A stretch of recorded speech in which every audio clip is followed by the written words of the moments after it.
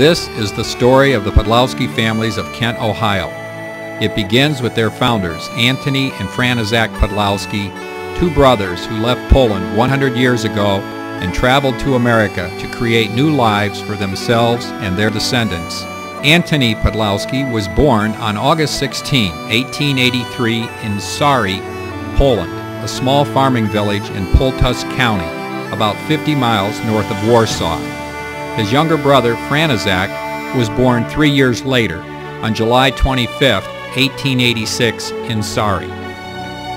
Their parents were Joseph Pudlowski and Victoria Orlowska. Joseph was born in Sari on March 5, 1865, the third of five children and the only son of Stanislaw and Eva Pudlowski. Little is known of Victoria Orlowska. She had a brother, Adam Orlovsky, who immigrated to America around 1900 and settled in Newcastle, Pennsylvania. It is believed that Joseph and Victoria Pudlowski remained in Sari their entire lives. They were parishioners of the Catholic Church in nearby Obright, Poland, and had at least three children, Anthony, Franizak, and a daughter named Katerina.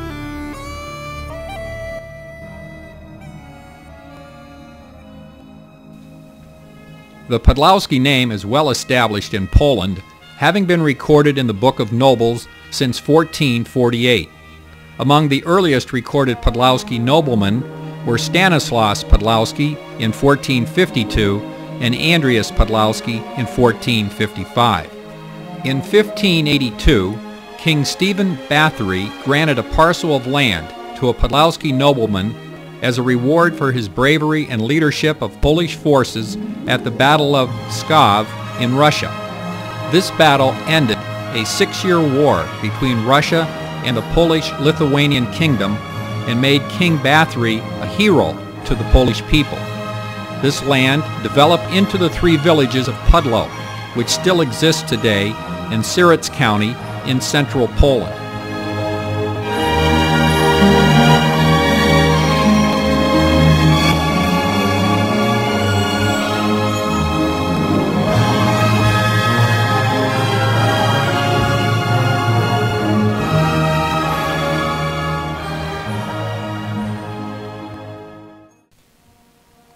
During medieval times, families would bond together for their common defense and form erbs or clans. The ancient Pudlowski family was one of 98 families which belonged to the herb known as Kosacha, which means arrow in Polish. Members of the herb would fight together, and all members would display the distinctive arrow on their shields during battle.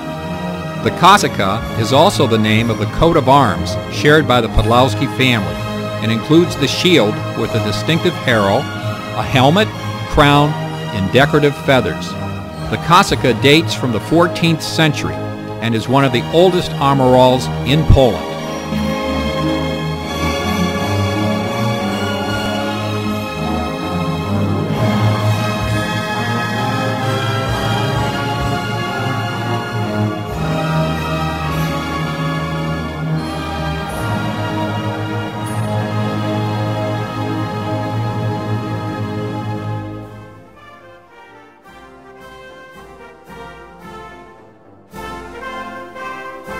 According to ancient family legend, there were two primary migrations of Pudlowski family members from their origins in Sieradz County in central Poland.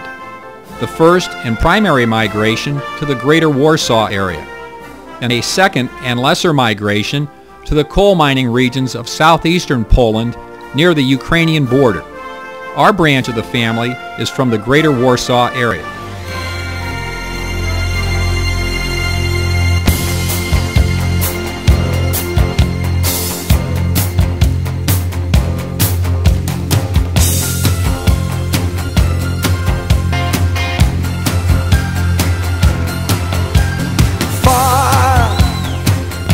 Traveling far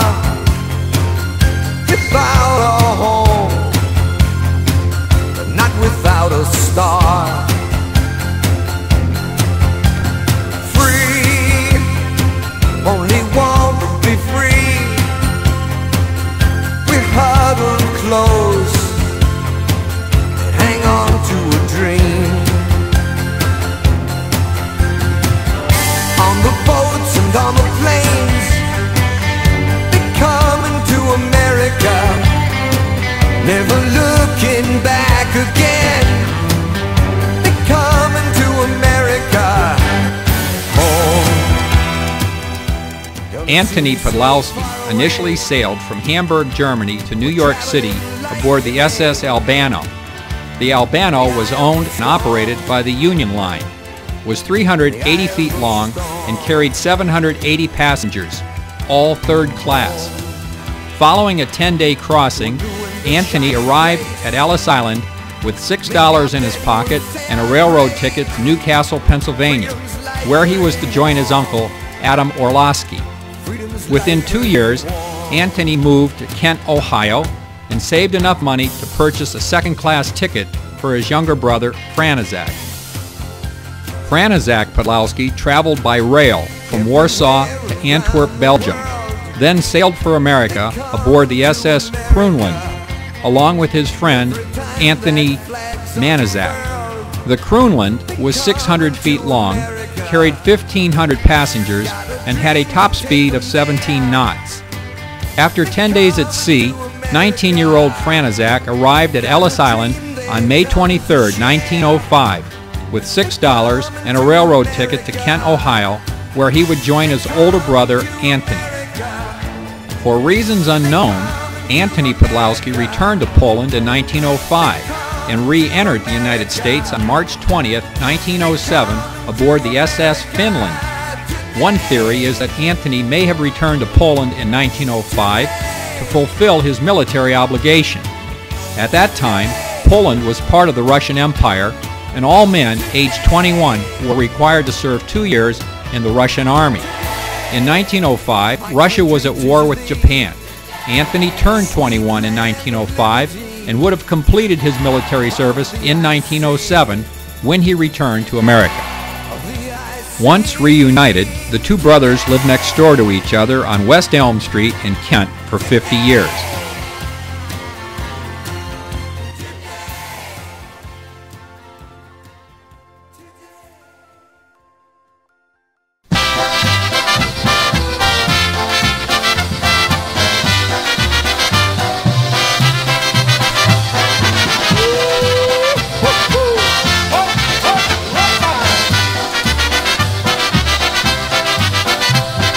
Tony, as he was known in America, married Catherine Kaminsky in Kent in 1910.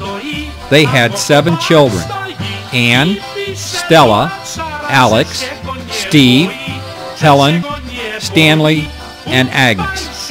Helen died in infancy at the age of five days. The other six children of Tony and Catherine Pudlowski all married and raised families of their own. Tony, along with his brother Frank, worked for the Erie Railroad in Kent, repairing railroad cars. Tony, Frank, and several of their co-workers once laid track from the railroad yard to Tony's side yard on West Elm Street to relocate an old caboose which was occupied by a co-worker named Bill for several years. During Prohibition, Tony made homemade wine and stored it under the floorboards in his bedroom closet. Anne Marie Pudlowski, the oldest child of Tony and Catherine Pudlowski, was born in Kent on March 3, 1911. She married Hank Wicklaw in June 1941, and they had two children, Beverly and Mary Ann. Stella Pudlowski was the second child of Tony and Catherine Pudlowski. She was born in Kent on January 18, 1913. Stella married Thomas Pizzuti in Kent on May 25, 1935, and they had two children, Barbara and Tom. Stella is 92 years old and resides in a nursing home in Carmel, Indiana. Alex Pudlowski was the third child of Tony and Catherine, having been born in Kent on October 28, 1914. He had to quit school in the 10th grade to help support the family during the Great Depression. Alex married Ann Slama in June 1940 at St. Patrick's Church in Kent, and they had three children, Tom, known as Jerry, James, and Karen. Jerry was the first child born in Kent in 1941, arriving on New Year's Day. Alex was an outstanding baseball player and fast-pitch softball player, and once turned down a contract with the Chicago White Sox, stating that he was too old to begin a baseball career. Steve Pudlowski, known as Farmer to his family and friends, was the fourth child of Tony and Catherine. He was born in Kent on November 28, 1916. He acquired his nickname as a youngster while working on a muck farm in Kent and selling vegetables to women in the neighborhood. Steve married Vicky Miazga in 1937 and they had three children, Stephen, Don, and Doris. Steve was an avid fan of Ohio State football and the Cleveland Browns. He often played golf after Mass on Sundays and was a regular at the Saturday night poker games at the KFC Hall in Kent. Stanley Pudlowski, known as Shorty, was born in Kent on May 5, 1919, the sixth child of Tony and Catherine. As a youngster, he once shot his father in the buttocks with his brother's BB gun. He married Viola Rhodes in 1939, and they had one child, a daughter named Catherine. Viola still lives in Kent today. Agnes Marianne Pudlowski was the seventh child of Tony and Catherine. She was born in Kent on May 4, 1922. Agnes married her high school boyfriend, Art Kerner, in 1942. Art gave Agnes a blue glass vase and a dozen red roses when he proposed to her. Agnes and Art Kerner had six children, Artie Jr., Patty, Susan, Rudy, Jeff, and Kathy. The Kerner family often vacationed near the Allegheny National Forest in western New York State, and they still own a hunting cabin in the area.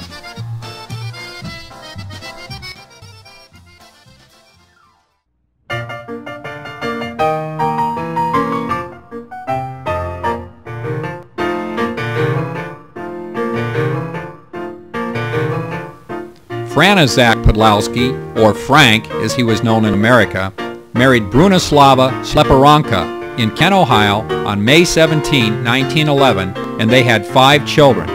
Agnes, Stefania, known as Stella, Vaclav, known as Ray, Martha, and Roman, known as Dolly. The first child, Agnes, died at the age of seven from a childhood illness. Brunislava, known as Bessie in America, was born in Serk, Poland on January 17, 1892. She immigrated to America in 1910 through the port of Baltimore. In 1912, Frank and Bessie moved from Kent to East 83rd Street in Cleveland, in a Polish neighborhood known as Proznan. They attended St. Casimir's Church, where Stella and Ray were baptized. In 1915, they moved back to Kent, next door to Tony and Catherine Pudlowski. Bessie died in 1950 at the age of 58, while Frank passed away in 1957 at the age of 71.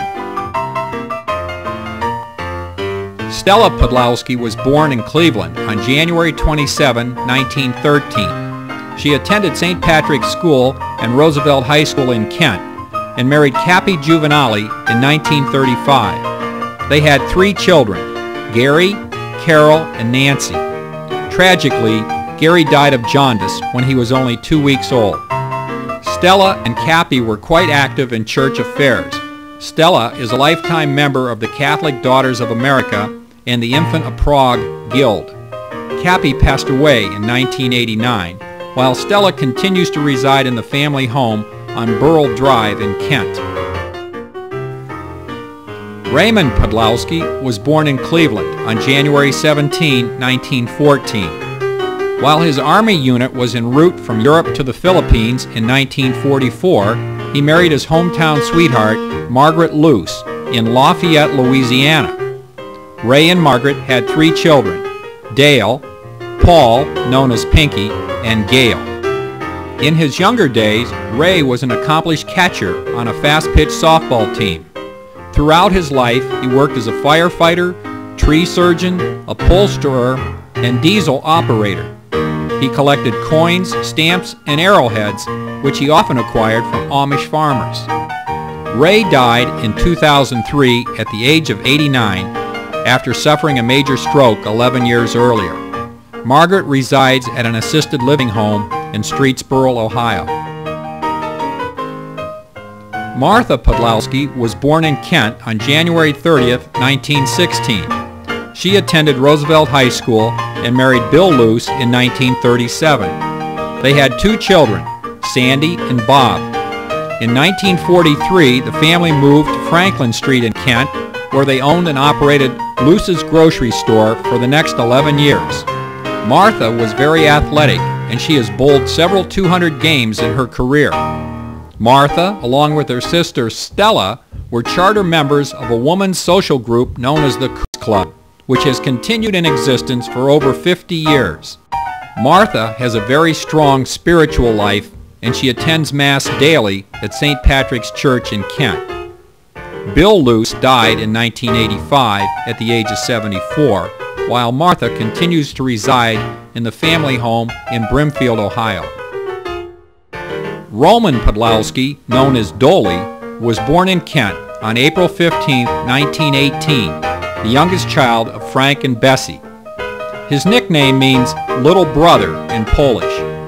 Dolly attended Roosevelt High School and joined the Civilian Conservation Corps at the age of 17, where he spent two years helping to build the Hoover Dam in Nevada. Dolly married Francis Paoni in Kent in 1942, and they had four children, Frank, Joe, Dick, and Janice. Dolly owned and operated his own service station. Every Easter, he would bake the traditional lamb cake and help color Easter eggs. In 1992, Dolly and Francis celebrated their 50th anniversary. Dolly passed away in 1993 at the age of 75. Francis resides with her son Frank and daughter-in-law Linda in Maryland.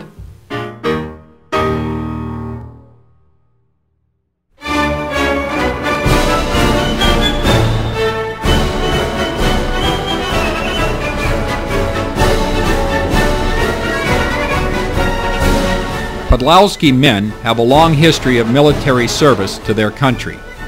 Steve Pudlowski was a member of the Army's 343rd Artillery Unit and served in Europe during World War II. He attained the rank of sergeant and was awarded the Silver Star, Bronze Arrowhead, and a Purple Heart. He participated in the D-Day landing at Normandy. Ray Pudlowski served with the Army's 361st Engineers during World War II and was advanced to the rank of Master Sergeant after only three months of basic training. He supervised 75 men in transporting heavy equipment used for building roads and bridges.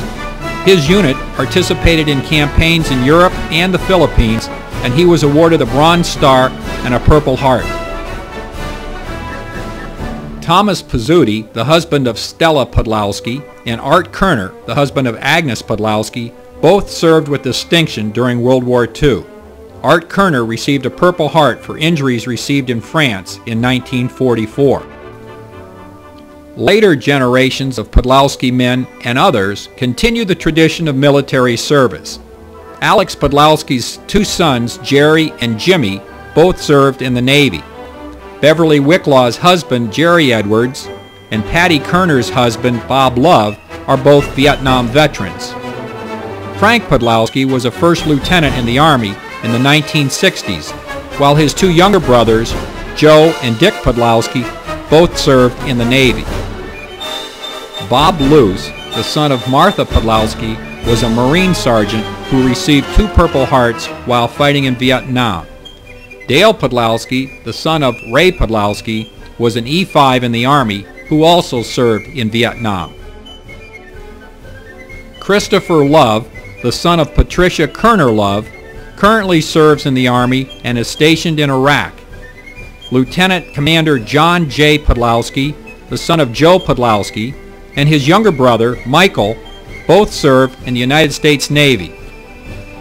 Janice Pudlowski's son, Patrick Malone, is currently a member of the Army's Old Guard and is stationed in Washington, D.C. As we hear our family history and celebrate our Polish heritage, let us be mindful of the hardships endured by our Polish ancestors. Anthony and František Pudlowski, along with Catherine Kaminsky and Brunislava Sleperanska, were courageous young adults who came to this country to seek a better life. They raised their families during the Great Depression and somehow found a way to persevere. We are their legacy, the manifestation of what they wanted, a better life for their children and their grandchildren. We honor their lives by celebrating our common bond. Enjoy this celebration and know that you are one of the many members of an ancient, proud, and noble family known as the Pudlowskis.